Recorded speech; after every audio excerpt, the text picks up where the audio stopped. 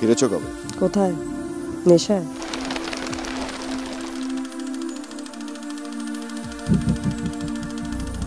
কাম করব আমার লগে?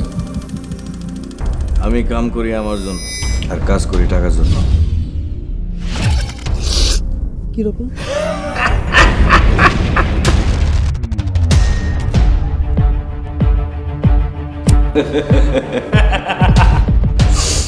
মালটা কিন্তু করা আছে। ফুসফুস করতেছস কেন বুঝলাম না ভাই।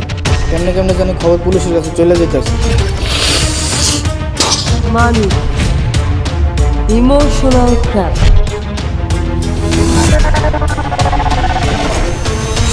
রবিন কিন্তু শিক্ষিত এবং শার্প তাইলে ফুটা করে দেন টুস করে।